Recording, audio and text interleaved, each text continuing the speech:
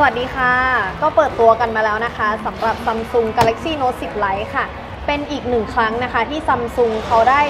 ทำตัวโน้ตออกมานะคะ ที่ราคาเนี่ยสามารถจับต้องได้นะคะ ซึ่งก็เคยทำมาแล้วนะคะ ในของ Samsung Galaxy Note Fan Edition นั่นเองค่ะถ้าพูดถึงตัว Note 10 Lite นะคะ น้องวุ่นคิดว่าเป็นอีกหนึ่งตัวเลือกนะคะ ที่ดีมากๆเลยสำหรับคนที่อยากจะลองใช้ปากกาค่ะ หรือว่าเริ่มต้นใช้นั่นเองค่ะ เดี๋ยววันนี้ค่ะน้องวุ่นจะพาไปดู 10 สิ่งที่ควรรู้สำหรับตัวของ Samsung Galaxy Note 10 Lite ค่ะ ไปดูกันเลยค่ะ Yes, I'll come back to you. No, I won't ask where you run under the sun.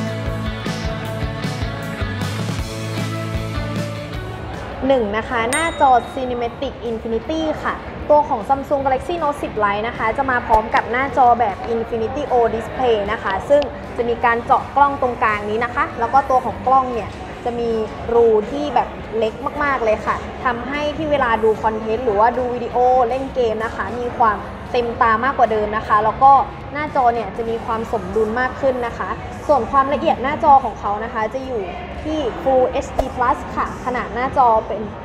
6.7 นิ้วนะคะ แล้วก็สีเป็นแบบ Super AMOLED ค่ะเอ่อตัวหน้าจอนะคะ กระจกของเขาเนี่ยจะเป็น Gorilla Glass 5 นะคะ ซึ่งมีความแข็งแรงทนทาน แล้วก็ลดรอยขีดข่วนนะคะ ส่วนด้านหลังค่ะเป็นตัวของ 3D กรอบโลหะค่ะ เวลาที่จับเนี่ยก็จะโค้งรับกับมือของเรานะคะ ทำให้จับถนัดมือแล้วก็ใช้ง่ายนะคะ อยู่ภายในมือเดียวนั่นเองค่ะ แล้วก็ดีไซน์นะคะของเขาเนี่ยดูแล้วเนี่ยมีความ ดีไซน์แบบไอคอนิกนะคะ ทันสมัยแล้วก็สีสันเนี่ยจะมีความสดใสมาก ๆ เลยค่ะ ค่ะ และต่อไปนะคะจะเป็นประสิทธิภาพ CPU นั่นเองค่ะ ถ้าเป็นตัว Note 10 Lite นะคะ จะมาพร้อมกับ CPU นะคะ เป็น Exynos 9810 นะคะ ขนาดชิปเซตจะอยู่ที่ 10 นาโนเมตรนะคะ Octa Core ความเร็วอยู่ที่ 2.7 ค่ะ ตัวนี้เคยใส่ในของ Samsung Galaxy Note 9 มาก่อนนะคะ แล้วก็ RAM เนี่ยมีให้มากถึง8กิกนะคะ ส่วนความจำ128กิกกันเลยค่ะ แต่ถ้าไม่พอนะคะ ใส่ Memory Card เพิ่มได้จนถึง1เทราไบต์กันเลยทีเดียวค่ะ ค่ะ และในเรื่องของแบตเตอรี่นะคะ ก็ให้มาเยอะจุใจมากค่ะ และการชาร์จเนี่ยก็ไวกว่าเดิมนะคะ ซึ่งตัว Note 10 Lite นะคะ แบตจะมาพร้อมกับ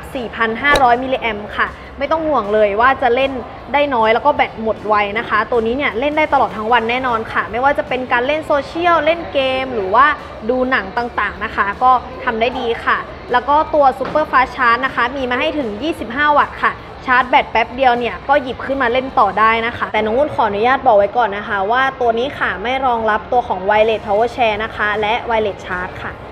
ค่ะ และในเรื่องของกล้องนะคะ ตัวนี้มาพร้อมกล้องหน้านะคะ 32 ล้านพิกเซลค่ะ มีโหมด Live Focus ต่างๆ แล้วก็ Smart Beauty ต่างๆนะคะ สามารถปรับฟิลเตอร์ได้ ปรับหน้าเนียนได้นะคะ ส่วนกล้องหลังค่ะมาพร้อมกับกล้อง 3 ตัวนะคะ ถ่ายครบทุกช็อตแน่นอนค่ะ ไม่ว่าจะเป็นเลนส์ Ultra Wide นะคะ ความละเอียด 12 ล้านพิกเซลค่ะ ตัวนี้สามารถถ่ายภาพมุมกว้างได้นะคะ 123 องศา เก็บพวกรายละเอียดเวลาไปเที่ยวหรือว่าคนนะคะ ได้ครบถ้วนค่ะ และเลนส์ต่อไปนะคะเป็นเลนส์หลักนะคะอยู่ที่ 12 ล้านพิกเซลค่ะ มีระบบกันสั่นมาให้นะคะ แล้วก็ Auto Focus ค่ะ ส่วนเลนส์ต่อไปจะเป็นเลนส์ Tele นะคะ หรือว่าเลนส์ซูม 2 เท่านั่นเองค่ะ ตัวนี้สามารถซูมเก็บรายละเอียดได้ แล้วก็ภาพไม่แตกนะคะ ยังคงชัดเจนได้เหมือนเดิมค่ะ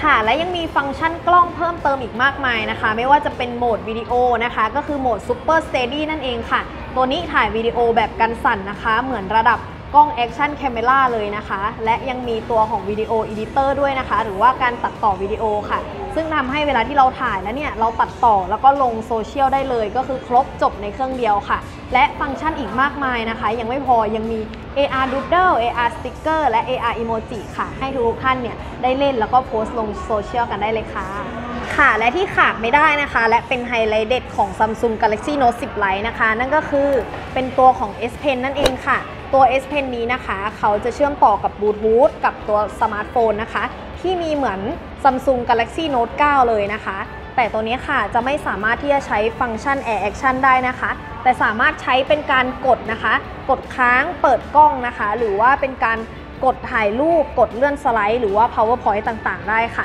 และฟังก์ชันอื่นๆนะคะ ที่สามารถทำได้อีกก็ไม่ว่าจะเป็นตัวของ Air Command นะคะเป็นการจดบันทึกนะคะ แคปหน้าจอแล้วก็เขียนลงบนหน้าจอ หรือแม้แต่การแปลภาษาก็ทำได้ค่ะ และเเวลาที่ เขียนบนหน้าจอดำนะคะ ก็ยังสามารถทำได้เหมือนกันนะคะ เป็นตัว Screen of Memo นั่นเองค่ะค่ะ และฟังก์ชันของ S Pen นะคะ ก็คือยังไม่หมดแค่นี้นะคะ ยังสามารถที่จะใช้ฟังก์ชันนะคะ ได้เหมือนกับตัวของ Samsung Galaxy Note 10 นะคะ นั่นก็คือการแปลงลายมือเป็นตัวพิมพ์นั่นเองค่ะน้องวุ่นว่าตัวนี้สะดวกนะคะในการใช้งานมาก ๆ เลยค่ะ สามารถที่จะแปลงและแชร์ไปแอปอื่นได้เลยนะคะ ไม่ว่าจะเป็นตัว Microsoft Word หรือว่า PDF หรือไฟล์รูปภาพก็ได้ค่ะ ค่ะและสำหรับคนที่ชอบดูหนังนะคะ หรือว่าฟังเพลงค่ะน้องวุ่นว่าต้องชอบแน่ๆค่ะ เพราะว่าตัวนี้ค่ะเขามา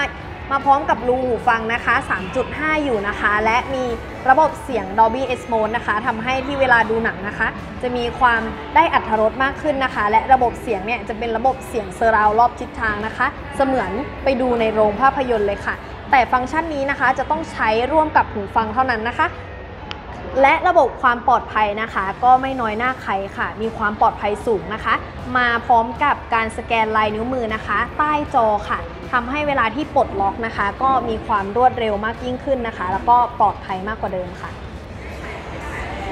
ค่ะและ Samsung Galaxy Note 10 Lite นะคะ ก็จะมาพร้อมกับ Android 10 นะคะ และ One UI 2 ค่ะ ซึ่งทำให้การใช้งานนะคะ เหมือนตัว Note 10 แล้วก็ Note 10 Plus เลยค่ะ ไม่ว่าจะเป็นการอัดวิดีโอหน้าจอนะคะ การใช้งานโหมดมือเดียว การเลื่อนเคอร์เซอร์ หรือแม้แต่แถบการนำทางที่ใช้งานได้ง่ายขึ้นค่ะ ค่ะและต่อไปนะคะ ตัวนี้นะคะจะไม่กันน้ำนะคะ และไม่มีการใช้งานโหมดเด็กนะคะ แต่ท่านผู้ชมเนี่ยยังสามารถใช้งานนะคะ ผ่านตัว Smart View ได้นะคะ แล้วก็ Link to Window ได้ค่ะทำให้การใช้งานนะคะ มีความสะดวกแล้วก็ตอบโจทย์ทุกไลฟ์สไตล์ค่ะ และตัวนี้นะคะ Samsung Galaxy Note 10 Lite นะคะ ก็เปิดราคานะคะมาอย่างคุ้มค่านะคะ อยู่ที่ 17,990 บาทเท่านั้นเองค่ะ น้องวุ่นว่าตัวนี้นะคะ เหมาะกับคนที่อยากจะใช้ปากกานะคะ แล้วก็เริ่มต้นที่จะใช้โน้ตนั่นเองค่ะ มาพร้อมกับ 2 สีนะคะ นั่นก็คือสีที่ 1 ค่ะ เป็นสีออร่าโกลนะคะ มีความสวยงามนะคะ แล้วก็สะท้อนแสงนะคะ เป็นสีรุ้งค่ะ และสีนี้นะคะก็คือเป็นสีออร่าแบ็กนั่นเองค่ะ มีความพรีเมียม แล้วก็หรูหราในตัวนะคะค่ะและถ้าท่านใดนะคะที่สนใจตัว Samsung Galaxy Note 10 Lite นะคะ ตอนนี้เปิดจองอยู่นะคะ จองด่วนเพียงแค่ 7 วันเท่านั้นค่ะ ถ้าท่านใดสนใจเนี่ยสามารถวางเงินมัดจำนะคะ เพียงแค่ 500 บาทที่ Samsung Experience Store ได้เลยค่ะ ก็จะได้รับไปเลยนะคะ ตัวของ Samsung Galaxy Fit E ค่ะ มูลค่า 1,290 บาทนะคะ โปรนี้นะคะ มีวันที่ 31 มกราคมนี้นะคะ ถึง 6 กุมภาพันธ์นี้ค่ะ ถ้าจองแล้วเนี่ย ก็จะได้รับของในวันที่ 7 กุมภาถึง 9 กุมภาค่ะ ถ้าท่านใดสนใจก็อย่าลืมเข้ามาจองกับนุ่นนะคะ รีบกันหน่อยนะคะค่ะ และวันนี้นะคะ น้องนุ่นก็ขอลาไปก่อนนะคะ และอย่าลืมมาเจอกันคลิปหน้าค่ะ สวัสดีค่ะ